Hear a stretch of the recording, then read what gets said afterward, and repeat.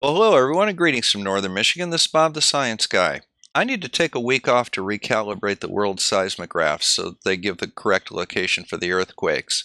So I hope that you'll enjoy this episode of Mark Sargent's Flat Earth Clues, Episode 6 Earthquakes and Seismographs. I was, and still am, a huge conspiracy guy.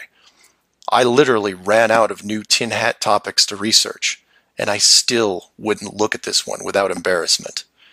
But every time I glanced at it, there was something unresolved. Well, hello and greetings from northern Michigan. This is Bob the Science Guy, and today we're going to look at episode 6 of Flat Earth Clues by Mark Sargent. In this episode, Mark discusses the structure of Earth. He once again continues his Truman Show analogy, showing that the Earth is nothing but an elaborate Hollywood set. Flat Earth Clues Part 6 Depth Perception. This is part of a series of clues that can help you get your head around both the design of the flat Earth system we live in and who has been involved in the deception to hide it from you. This clue looks into the inevitable design question below the surface, or more specifically, how thick the flat Earth design would need to be. To start, let's quickly recap the design features so far. A basic dome structure made up of advanced high density material, thousands of miles wide, and at least 100 miles in height the ceiling of said structure being projected upon by an ultra high definition system using super LED technology and a combination of 2D and 3D imaging to simulate all celestial bodies, including sun, moon, stars, and so on. Well, once again, Mark is just demonstrating that his basic knowledge of the universe comes from Hollywood movies. While this makes an interesting tale, he neglects to mention certain rather essential items. For example, who repairs the broken panels? Does the computer or whatever device controls all this ever break down or crash? Has there ever been a time in recorded history that the sky blinked out? What powers all of this? And in the ages of exploration, have we ever come back with any physical proof of this electronic dome? This ceiling is then protected by a scaling decrease in temperature and oxygen levels to the point where human life isn't naturally sustainable above 4 miles. The lower surface of the dome structure consists of an organic layout of continents, grouped at the center, ensuring that no land bridge exists to the outer ring. This is then surrounded by hundreds of miles of salt water in order to limit sea travel. The salt oceans are then adjusted with a scaling decrease in temperature as the outer area is approached, to the point where salt water freezes, forming icebergs, further reducing sea travel. The outer ring is then elevated to a height of 10,000 feet, reducing oxygen levels, and a buffer zone of 300 miles is created. This zone is devoid of all life forms that could be used as food, further discouraging land travel. Once again, we are confusing the Gleason AE map with an actual model of the Earth. We could do another AE map this one centered on Sydney, Australia. And this problem of an ice wall is resolved, and we have oceans that go right up to the edge. Even if we accept the obstacles that Mark outlines for the ice ring, common theme of human history is mankind's ability to overcome obstacles. And in the case of Antarctica, we certainly have. Keeping human beings away from the ceiling is easy because it requires higher technology. Protecting the outer ring is a little more difficult but can be accomplished with layers of negative reinforcement.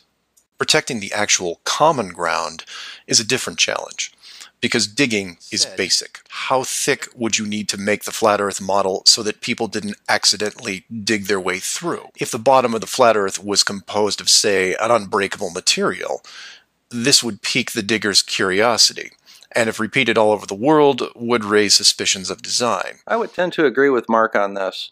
If there was a hard barrier under the ground that we could easily reach, I think our first question would be, well, what's beyond that barrier? Because in general, that's what mankind does. When we are presented with a barrier, we seek to overcome it. For that, you need something that hasn't been used up to this point a scaling increase in temperature. Now, you will jump in and say, well, of course. We all know that there is molten rock below the surface. We see it in volcanoes, and, well, volcanoes. Why, yes, we do have volcanoes. We actually have an entire branch of science devoted to understanding them called volcanology. We have another branch of science called plate tectonics that describes how they form and why they form and why they are located where they are located. Both these disciplines use physics, geology, and reasoning understand how and why these are all natural processes. And we've all seen the cross section diagram of the globe Earth, which shows ever brighter bands of molten structure and so on,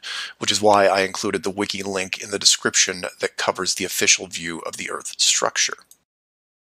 And I quote, Scientific understanding of the internal structure of the Earth is based on observations of rock in outcrop, samples brought to the surface from greater depths by volcanoes, analysis of seismic waves, measurements of gravitational and magnetic fields, and experiments with crystals at pressure and temperatures characteristic of the Earth's deep interior.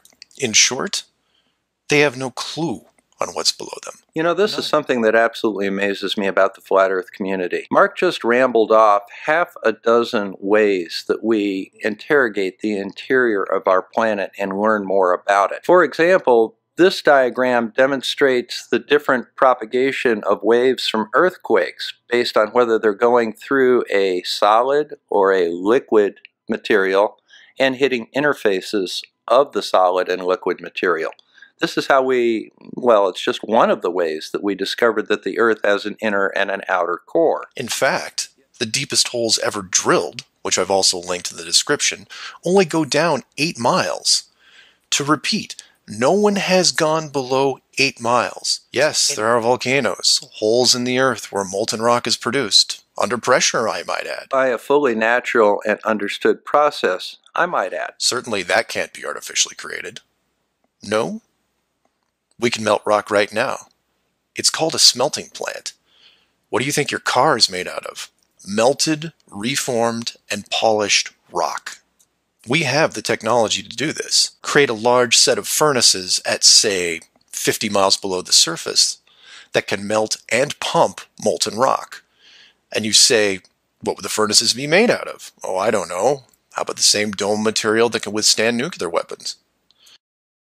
So you take the molten rock, locate a few random access points on the surface, and the rest comes naturally. Again, this is a cool story, bro, but you don't have any evidence to suggest that you're right. Volcanoes are not located at random spots in the world. They are located in a pattern based on plate tectonics. This is an understood and natural process. What you don't put in is any evidence whatsoever. There are dwarfs underneath the earth smelting metal and smelting rock and pumping it up through random vents in the surface causing volcanoes? Where is the machinery? Where are the sounds of the machinery? Where's any evidence of piping or the ducts required to do this? What powers the smelting process? Who monitors it? Does it ever break down? These are all questions that you have no answer to, Mark. You expect people in the flat earth community to simply take it on your word. Is this science?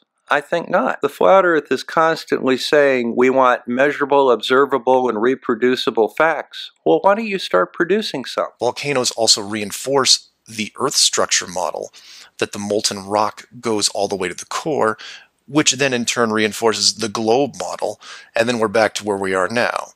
A smoldering globe flying through space at high speeds that, from a design standpoint, makes no sense. Well, in light of the fact that this is a relatively well understood process that is confirmed by geology and other studies, I really wouldn't consider it too off the wall, especially in light of the fact that you're talking about something that is completely unnatural and requires intervention, power, repair. So, how thick would the flat Earth model floor need to be? Oh, for common use, say less than 100 miles, similar to the ceiling in scale large heat generators placed in a pattern, a thin layer of molten rock 10 to 20 miles down, which is really just a geologic pipe system to help with the generation of terrain. And there you have it an efficient way of discouraging all those digging humans from reaching too far, combining a physical barrier with a mental one. Eight miles down, and you're going to tell me what the entire core looks like? Give me a break. Mark, Just take for a moment and consider the dome in the Truman Show. Look at the construction of it, the size of it, the amount of effort it takes to maintain it, to keep the water clean, to keep the actors fed, the electricity on, the power on, to falsify all of the radio signals, just to fool one person. How much effort is being put into doing that. Now imagine that that is on a worldwide scale. And yet, even though all this effort all this artificial construction is taking place, we have yet in 2,500 years found a shred of evidence supporting it. Where is a photograph of the dome? Where is a photograph of the edge? Where is a piece or a seismic record of any of this stuff going on underground that you're claiming? The spherical Earth is backed by 2,500 years of scientific inquiry and exploration. The flat Earth is a fantasy designed by the imaginations of people that have far too much time on their hands and watch far too many fantasy movies. You can come up with all sorts of ideas sitting in a coffee house on the internet. Yet there are people in this world whose lives are devoted to trying to understand how corn plants grow or how to determine the location of pockets of oil under the ground. These are people that actually do science. A subset of those people teach other people how to do it. Perhaps you may want to take some of those classes. One of the keys to overthrowing a established scientific system is understanding that system. Based on this video, your understanding of geology, seismology, volcanology, and atmospherics are sadly deficient. You don't have the basic knowledge to understand the system to overthrow it. And until you do, you are going to continue to just spout fantasy. A common complaint in the flat earth community is that they are simply dismissed as being too ignorant or simply not understanding basic sciences. The problem is is that with every video you guys put out, including this one, you demonstrate that that is the so, case. This Bob the Science Guy signing out from Northern Michigan. Hey guys, take a moment, hit that little like and subscribe button down there. These videos are getting thousands of views and hundreds of likes. Let's see if we can bring those numbers a little closer to the number of views. All right? We'll see you again soon.